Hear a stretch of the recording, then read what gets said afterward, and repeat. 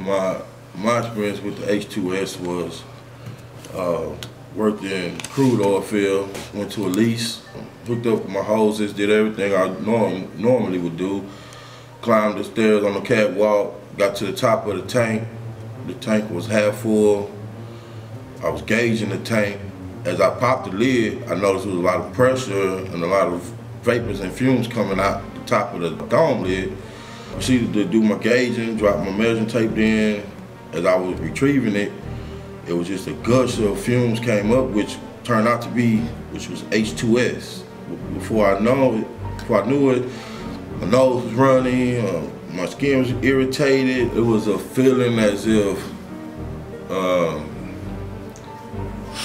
of calmness, like as if you had drunk a beer or maybe two beers, or you, and with a combination of you really tired and sleepy. It was that kind of effect towards my body as far as I can remember.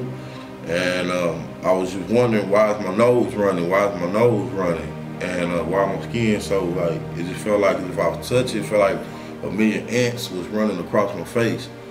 And that's pretty much all I remember. And just seeing my friend pull up and was saying, hey, what's up? And that was it. And I was out. I didn't even know. It wasn't nothing that I felt like, hey, I'm finna pass out. I'm feeling lightheaded. Or it was as, and I was starting to feel my throat as I was about to turn around and say, hey, my throat felt really dry. And that was it. Woke up, came to, he was on top of the catwalk with me, grabbing me on my shoulder and had me standing upright again.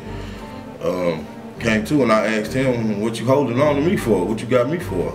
and uh, didn't realize I was just blacked out from H2S.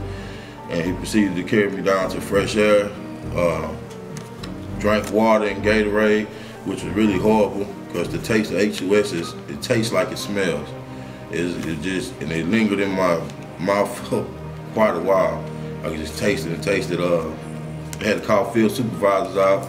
They had to do a monitor test. They they got my monitor and seen that it actually did go off and uh, it was high levels of H2S in that area, which was rare for this part of town, but it happens. I didn't get headaches until like it was, I came back alert.